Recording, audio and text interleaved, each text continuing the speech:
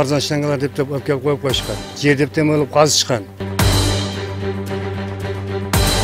башка акчалардын баардыгын ошо чоңдор бөлүп алып жеди көп бизди кыйнады кожо көрсүн эл уксун деген тейде гана колдон өтөөр кылып жасалган иш көрүнүп турат анткенин себеби могул суу түтүкчөсү могул жерде жалпайып баардыгы тосулуп калган тендерди утулган киши ошону жасабай жүргөн да бүгүн сот аркылуу гана чечип турган экен да ошон үчүн азыркы күндө биз сотко бүт материалдарды даярдадык келсем анан кийин келишти каяктасыздар дейт резервуарда суу жок эмне чакырып турасыңар десем суу жок экен дейт анда майра анан кийин келгиле ошондой эле болуп бир концерт кылып атышат да.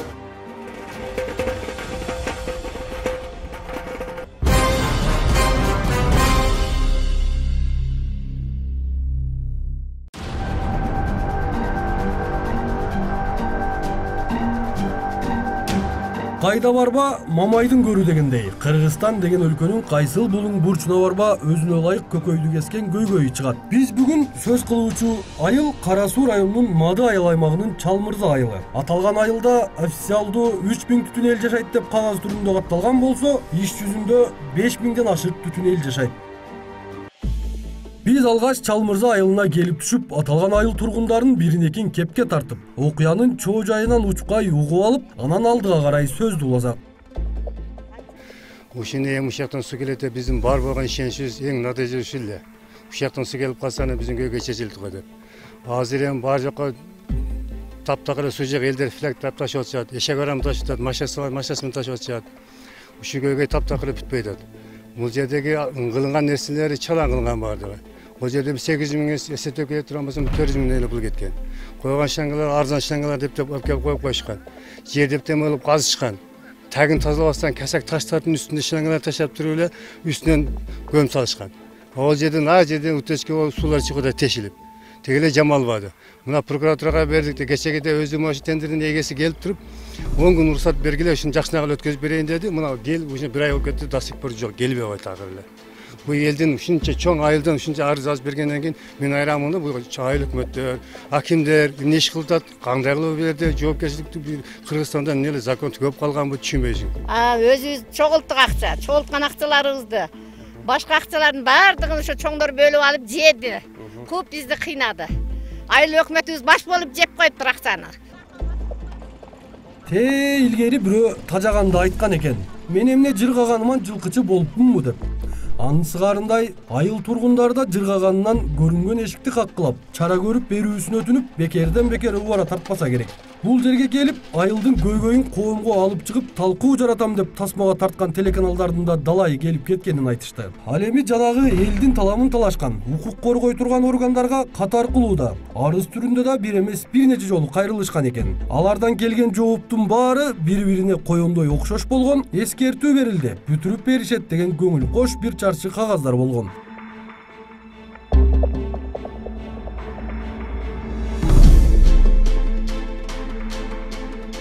биз айылга киргенде эле моундай болгон кичинекей жаш балдардын ушул челек кармап чака кармап сууга бараткан учурунун алдынан келип чыктык. Азыр биз балдар менен сүйлөшүп көрөлүчү каяка жөнөдүңөр? Сууга сууга каерден алып келесиңер сууну алыс жактан. Алыс эки метр жактан. Ой алыс мазылар жактан алып келебиз бир күндө канча жолу сууга барасыңар? Мен төрт беш жолу барабыз мен он он беш жолу барам. Чоң чоң бачактар бар ошолорду толтурам биздин чыгармачыл топ чалмырзага келип айылдыктардын айткан арыз муңун угуп алып эле кайра тартпастан айылга суу кайсыл тараптан келиш керек эле анан кантип келе албай жатат деген суроолор менен миң уккандан бир көргөн артык көз кандырып көрүп келели деп суу башын көздөй татырама таштак жол менен жогорулап жөнөп калдык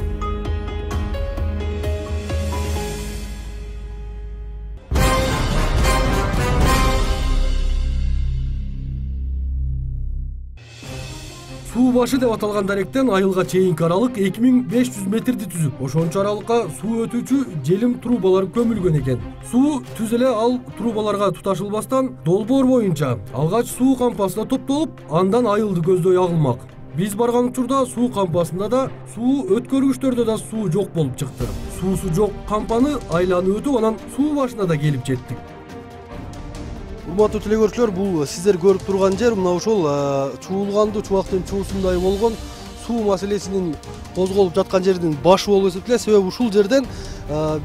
беш миң түтүндөн ашык эл жашаган чал мырза айылына ушул жерден суу кетмек а бул жерден сууну алып барып беребиз деп э, перспектива деген э, жоопкерчилиги чектелген коом айыл элинен сегиз жүз жыйырма үч миң сом анын ичинен беш жүз миңи мамлекеттик бюджеттен бөлүнүп берилген болсо калган үч жүз жыйырма үч миң сомду ушул айыл эли өз чөнтөгүнөн топтоп беришкен азыркы учурда бирок ал акчасы дагы жок жанагы кыргызда айтылгандай же уйдан жок же уй байлаган жиптен жок болуп айыл эли арасат ортодо калган учуру азыр бизге ушул суу көйгөйүнүн баштан аяк бизге айтып бере турган киши мадай айылынын суу башкармалыгынын башчысы турсуналы төрөбеков агай саламатсызбы айтсаңыз ушул айылдагы суу көйгөйү деги эмнеден улам келип чыкты дагы азыркы учурда эмне себептен ушул сиздер бир компанияга акчаны берип алып туруп анан өзүңүздөрдүн ишиңиздерди бүтүктөй албай жатасыздар? Себеби бул айыл ичинде эки жүз түтүн кошулду бизге. Жаңы конуштар кошулду да анан кийин суу жетишерлик болбой таза суу ушул себептен кайрылып республика бюджеттен сурап сбк партиясынын эсебинен болгон ошолордон жардам сурап республикага беш жүз миң сом элдин салымы үч жүз отуз сегиз миң сом болгон жыйырма үч миңи кошуп бул тендерге койгон маада айыл өкмөтүнүн жетекчиси матанбаев тендерге койгон. Тендерден перспектива деген жшксы бир эле ишкананы койгон тендерге дагы. Ушул жерден кетирген кемчилдик болот. Башка кошкон эмес буга тендерге дагы анан ушул жерден элдин салымын беш жүз миңди бюджеттен республика бюджеттен кирген акчаны өткөзүп берген перспектива ишканасына бир жүз сексен миңин биз комиссиянын элдик комиссияны кеңешип туруп бир жүз сексен миңин азыркы күндө өткөзүп бергенбиз алты жүз сексен миң олордо он процент акчасы калды бул эки миң он бешинчи жылы октябрь айында башталган ушудан бери келатабыз ушу суу маселеси чечилбейт толук кандуу эмес суу барбайт мына акыбалын көрүп атасыздар айткан нерсе колсалар жок суу түтүкчөлөрү тешилип мынантип жатат мына суу агып өзүңүздөр көрүп турасыздар толук суу түтүкчөлүү линияларды жакшы стандарт немеде улаган эмес баардыгы эптеме кыргызча болуп калган ошентип бул жерде суу жөнүндө сүйлөшүп бирок сууга зар болуп чыккан жерибизден ылдый карап жөнөп жолду катар турсуналы мырза бизге перспектива жчксынын кетирген кемчилдиктерин көрсөтүп келе жатты улаган жерлерин көрүп жатасыздар бул талапка жооп бербейт эптеп эле жөнөкөй кыргызча кылып эле кыскасы улап койгон да бул жерлерге переходник болуш керек эле башкача жол менен улаш керек эле да бул жерде сметада боюнча темир труба келип туруп могул пластмассага биригип атат дагы аны киргизип туруп ортосуна могул кандайдыр бир салофан менен ороп сыртынан могу камыт менен катырып карматып койгон бунун кеткен акчасы канча болот дагы? Өзүнүн ошол атайын даярдалган суу өткөргүчтү коюш үчүн ага канча акча сарпталмак эми бул разницасы төрт жүз беш жүз сом разница берет да. Мынабуда темирибиз эч канча калбайт да эки жүз үч жүз сом калгандыр мүмкүн переходник тогуз жүз сомго чейин турат да бу жерде переходник болуш үчүн тогуз жүз сомго чейин турат а могу камыттардын бир беш сом он сом турат булар э булар камыттар арзан эле да он сом ашык калса эми ошондо мындайдан канча жерге коюлуш керек эле негизинен мындай жерден эки километр төрт жүз метр болсо жыйырма төрт жерге коюлуш керек эле баардыгын кайрадан ачып булар переходниктин койгон жерине койду калганын кумдай ушундай кылып кыргызча кылып муну ежик деп коет трубанын башына мындай неме жүргүзүп эле ушундай кылып камыт кылып кетти бир төрт жерге койду окшойт переход суу башкармасынын айткан сөздөрүн угуп олтурсаң чын эле бул жерде суу чыгарып берем деп кимдир бирөөлөр далай сомду сугунуп койгондой таасир калтырат экен биз ушул суу кеткен түтүктүн жолу менен жүрүп олтуруп дагы моундай болгон ачык жерине келип калдык бул жерде чынында жанагы кожо көрсүн эл уксун деген тейде гана колдон өтөөр кылып жасалган иш көрүнүп турат анткенин себеби могул суу түтүкчөсү могул жерде жалпайып баардыгы тосулуп калган. Мунун ичинен суу эмес башка нерсе дагы өтүшү кыйын чынында. Жасалган жумуш менен таанышып чыккан соң биз түз эле маада айыл өкмөтүнүн имаратын көздөй бет алдык. Чынында бул жердеги аткарылган кандай иш болсо да айыл өкмөт жооп бериш керек эле. Тилекке каршы бизди айыл өкмөт эмес анын жабык эшиги күтүп алды. Биз азыр мына ушул суу маселеси боюнча маада айыл өкмөтүнүн башчысына келип олтурабыз. Бирок мына өзүңүздөр көргөндөй бул жакта эч ким жок ал эми бул жердегилерден сураганда түштөнүүгө кетти деп жооп беришти бирок түштөнүү убактысы сиздер менен биргеликте саат карай болсок он төрт ноль беш демек түштөнүү убактысы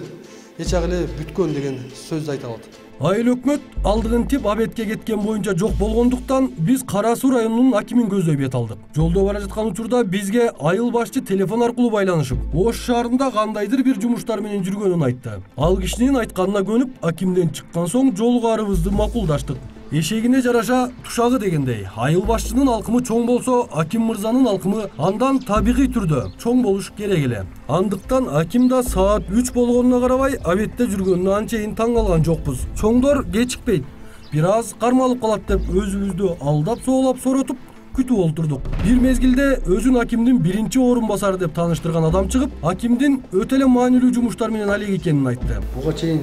тиле сиздерге келген кайрылуулар болгон буга чейин кандай бир чара көрүп ошону чечип койсо болобу эле негизи ушул убакыт аралыгында чеги жыл убакыт аралыгында болот эми ошол м, тендерди утулган киши ошону жасабай жүргөн да ага айыл өкмөт дагы биздин маалыматыбыз боюнча кайрылган айт- ушундай сиздерге кайрылган киши дагы бул боюнча сүйлөшүүлөр болгон эми азыр ошо баягы жогоруда айтпадымбы силерге мыйзам чегинде прокуратурага берилген бул киши боюнча үстүндө азыр эми сотко берип атат биздин эми мыйзам боюнча мындай иш аракеттерди баягы сүйлөшүүлөр жолу менен айыл өкмөттүн кийлешүүсү менен же администрациянын кийлешүүсү менен чечилбеген маселени сот аркылуу чечилет да. Ошондуктан азыр айыл өкмөт сотко берген. Эми сот кандай чечим чыгарат алар мыйзам чегинде бул маселени иликтеп тергеп анан бир чечим чыгарып берсе ошого карап иш тутабыздар орун басар ар жак бери жактан сурамжылап маалымат топтоп бизди узатып акимди арачалап калды бирок ушул жерден кара суу районунун акими тилекбек исмаиловичке салам жолдоп суусуз калган элдин иши да сиз кылып жаткан важный иштерден айырмасы жок болбосо алардан жогору турарын эстетип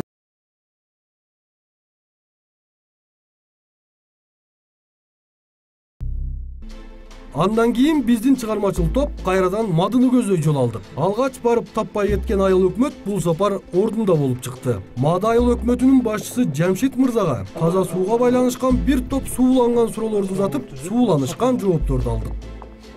Э, бул боюнча тиешелүү органдарга кайрылганбыз Э, прокуратура органдарына алар иликтеп баягы ошо мыйзам чегинде буну сот аркылуу гана чече турган экен да ошон үчүн азыркы күндө бүт материалдарды даярдадык. Ошо соттун чечими менен ушул иш аягына да тендер кандай деңгээлде өткөзүлгөн байке ушул тендерде ушул айыл тургундары айтып атат тендерде ошол өзүнүн тааныштарын А, жок эч кандай жок жок бир гана ошол бир эле перспективага катышкан башка эч ким катышкан эмес. Э, конкуренция болгон эмес дейт. Туура бул туура туура нерсе себеби ошо мыйзамда өзү көрсөтүлгөндөй бир адамбы үч адамбы беш адамбы жыйырма бир күн конкурста турган анын ол бизден көз каранды эмес бир адам катышабы беш адам катышабы азыр мурунку азыркы мыйзам боюнча конторго келип заявка бербейт үйүндө отуруп электрондук түрдө мен ушул жумушту аткарамын мен мындай мүмкүнчүлүгүм бар мен мындай деп туруп өздөрүнүн заявкасын берет да ошону мен ушул түшүндүрө албадым ошолоргочу себеби айтпадым жогоруда бизден көз каранды эмес кааласа кээ бир немелерге он бештен катышканы бар. Кээ бирине катышпай койгон ушундай конкурстар бар. А буга бир жалгыз бир киши катышты себеби ишти аткарыш керек болуп калды мыйзамда көрсөтүлгөн жыйырма бир күндүк болсо бир адам да катышты анан баягы катышкандагы биз талап кылган документтер баардык тиешелүү документтер туура болгондуктан биз келишим түзгөнбүз. Алганын бүтүр десем бүт элек ишин жумушун акчасын кармап калып алганын неме кылып атат? Биз ушундай шартты дагы көрдүк акыры мукураганда ошо алган калган акчаны э, албайм албай турган болуп ошол акча менен биз өзүбүз бүтүрүп алайлы ошол акча жетет да калган эмесибизде көрсөтүлгөндөй калган акча. Ошол акча менен жумушту аягына чыгарып биз жумушту бүтүрөлү десек же ага макул жок мен бүтүрүп койдум бүтүргөн менен жыйынтыгы жок суу чыкпай атат. Айыл өкмөт башчысы менен акимдин орун басарынын сөзү бир жерден чыгып иштин толук бүтпөй суунун келбей калышына толук кандуу перспектива жчксы күнөөлүү жада калса алардын үстүнөн сотко да арыз жазып материал даярдап койгондорун айтышты бирок ар кимдин өз чындыгы бар дегендей биз жанатан бери аты жаман кара кыз болуп жаткан перспектива жчксынын директору менен ошол участкада куруучулук милдетин аткарган устасын чакырып сөзгө тарттык бирок алардын жетекчиси өзү түшүндүрмө берүүдөн баш тартты Dedik özün sürüğünü yaxşı oldu. Yani kamera ben asıl oldum. Siz özün yaxşı oldu gözüm. Yok, niye sürüyorsunuz? Öbürümde kamera çıkmamalı Ben bulaşın, bulaşın da hemen başlar. Ders sürat göçüp etmem. Halige ortasında bir kişilik açık kalan yer var baba. Turan açık kalan yer ise. Oşan surata ne üçün açık turan terbiye. Sonra komik bir alan yer var bak. Ötken halisli, volta çarptıran, su çarptıran yer. Ошол жанчылып калып тур азырчы жанчылбек эле кече жакында эле суу чыгып Ана мына бүгүн барып жанчылып калыптыр мен жери? жанагы чукулган жер турат го ачык. Турба эң башында баш жагырагында жана кирпич жетпей? кирпич заводко жетпей. Ачык жер турат э, ал жерге жанагы саморез ураган саморез койгон жер. Ошол жер бырыйып турат ириги турбамдар билбейм анда ким көрүп койду мына мен канча бир үч күн болду төрт бир жума болду где точи барып сиз айтканыңыздан үч жолу барып келдим ал жергечи барып давление чыгарасың келбейт келип тапшырып кел келгиле десең жумазарка келсин дейт жумазарка бишкекте болуп аткан сиз отчетточу жок болуп калып атты анда биз барбайбыз дейт келбейт эмне кылыш керекин түшүнбөдүм акырчы анан кече чакырышкан экен бардык барсам кел деди сууну текшеребиз дешти барсам мен бар мен барсам келбептир алачы барып резервуарға барсам суу жок келсем анан кийин келишти каяктасыз деп е резервуарда суу жок эмне чакырып турасыңар десем суу жок экен дейт анда майра анан кийин келгиле ошондой эле болуп бир концерт кылып атышат да. Жок бул жерде ошол көмүлбөй калган жерлер ол көмүлбөй аны специально калтырганбыз биз ошо давление текшерип туруп анан тапшырып беришибиз керек биз аларгачы булар келип туруп бизге ошо давление сууну жарайт деп былтыр үч жолу патасын берген. Ошондой десе эле болду ол сразу эле жабылат болчу негизи канча жер ачык? Азыр в данный время үч жер ачык. Жанагы темир турба коюлган жерде ачык э ол ол ошол проект боюнча ошондой. проект боюнча ошондой темир турба коюшкан аны ошо турсунали аканын укасы бир тууган укасы ошол жака труба өткөзүп алган экен былтыр айтсак алдырган эмес мына мен жазгым алып барып кече кестирип башына варить этип салдым самовольный подключение кылып алган самовольный подключенияларды кылып алышкан өздөрүчү былтыр үч жолу патасын азыр бул жерде проблема эмнеде болуп атат проблема эң проблема туршиналида болуп атат сууну толтурушун элди топтосун жашына барса биз чыгарып беребиз ушу мен болду мынакей чыкты дегенден кийин болду башка эч кандай проблема жок былтыр булар мындай дедит да былтыр барып короче действительно немелер болгон баягындайчы палаткаларчы биз устранить эткенменчи барыпчы кийин суу чыккан өзү келген элдер көргөн патасын берген точно бир эмес үч жолу берген итам үч күндөн кийин кел дейт үч күн суу аксын дейт азыр нормально мына давлениеси нас устраивает дейт үч күндөн кийин келесиң суу жок дейт резервуар болсоң суу жок болот жок бул негизи напормен чыгып туруш керек суу самочок самотек самочок бирок самочоктон жанагы сексендик турба койгонсуз а жетимиш алты жетимиш алты давлениясын ошону мен ошолорду көрсөткөм үч жолу патасын берди мынасында уже он догадывается да что все уже сделано ошого бул келбей атат да кече вообще келбей койду эки үч жолу барып чыгарып келбей койду өзүчү айтып атат негизи ошол суу чыкпай атат эки жыл болду дейт эки чыкты болбосо резервуардан суу кайка кетти булар мындай деди суу чыккан. Өзү уже осознал баардыгын кийин депутаттарын чогултуп келип алып өзүнчү анан кийин бизге айтты. Короче мага келип туруп укам деди наркы мазарный деген сизге айттым сиз жумазарканын действительно жини келди айтты короче жүз жыйырма миң акча сурашты остаток биздики жүз сексен миң ошондой акча калган деп сто двадцать тысяч бергиле деди ну все остальное мы сами сделаем депчи а мен айттым э ончо көп дедим берите ладно двадцать тридцать ноль а это көп болуп калбайбы десем анан жок короче ошондой элден даже акча чогуу элек казнада акча азан боло элек деп короче силер элден акча ала албайсыңар дедит да а мен сизге чалдым туура жумазарка мыналар мындай деп атат даже элде акча чогулган эмес акчаңарды ала албайсыңар деп атат деди деди эле мен жумазарка эмне алар жүз жыйырма миң сурап атат дедим десем анан жумазарка айтты да бербейм деди